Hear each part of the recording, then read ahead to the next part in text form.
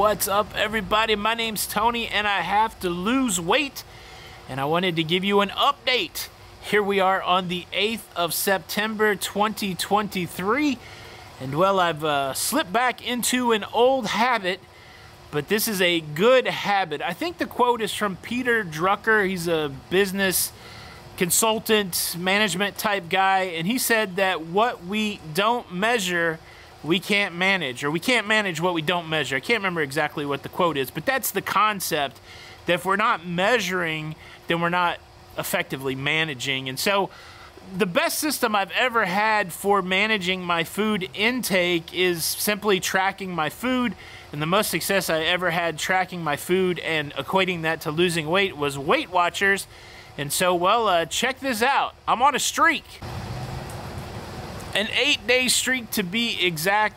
I've been measuring everything that I eat and recording everything that I eat in the Weight Watchers app, and it's resulted in some weight loss. So, look, I, I, tend to fall back into old habits, and I figured eh, let's do that again. Let's keep that cycle going, except instead of falling into a bad habit, let's fall into a good habit. The most weight I ever lost at one time was 80 pounds, and that was using Weight Watchers back in 2008. I did lose about 30 pounds earlier this year using Weight Watchers, and so, okay, I'll use Weight Watchers again. I was just editing the video, and I realized it's raining here in Florida. It's one of those days, but I realized I was just getting dripped on the whole time. So uh, don't be distracted by the drip. Pay attention to the dip, or to me, whatever. All right, back to the video. I have kept up with the other habits I've been working on. I'm still drinking my 80 ounces of water a day. I'm doing intermittent fasting, not as hardcore as I was the first week, but I'm doing about a 12 hour fast, 12 hour on, 12 hour off. And I'm starting to see results in a couple ways.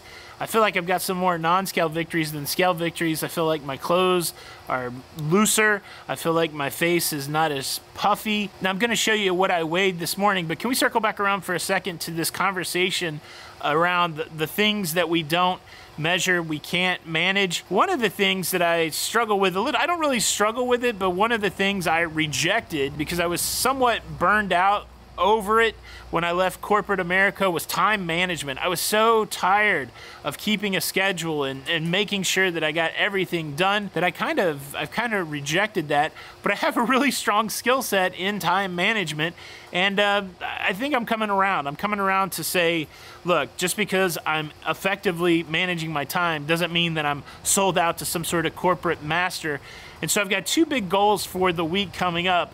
First and foremost, I want to lay out what a day looks like for me on a schedule. I want to incorporate exercise. I want to incorporate reading. I want to incorporate prayer and meditation. I want to get that laid out and then I want to start working on that schedule, doing the same thing every day and getting those key habits in there. And I was just looking at my average steps on the phone for the first week in September.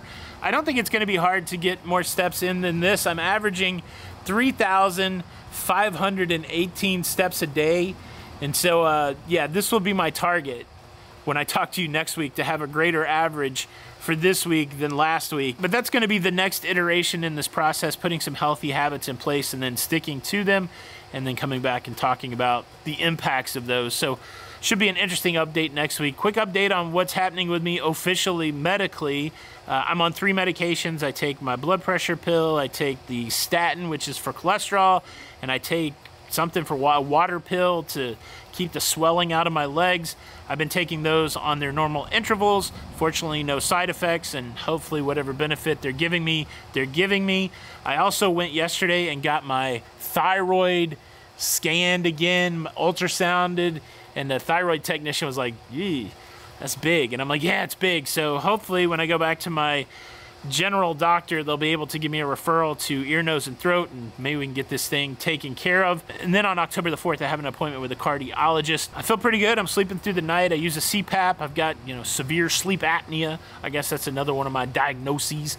But yeah, I'm sleeping through the night and I feel pretty rested. I'm still a little low on the energy, but I think maybe when I increase my exercise a little bit, I think that might help my energy. Overall, I'm doing pretty good. Now, on to the scale. When we last looked at my weight a couple weeks ago, it was 383.6 383.6 and then when I weighed this morning 381 pounds So down 2.6 pounds. I'm at the bottom end of the 380s and hopefully by next week I'll be in the 370s. Interestingly, when I put that number into the Weight Watchers app, I guess the lowest I'd gotten on Weight Watchers this year was down to 370, so I'm kind of chasing my best of the year already. Look, let's be honest, any of these numbers in the 300s are way out of whack, but uh, I got to go through them to get into the 200s and really start making some more progress. How are you guys doing on your journey out there? Thank you guys for all of the positive support that you throw my way in the comments. I sure do appreciate it.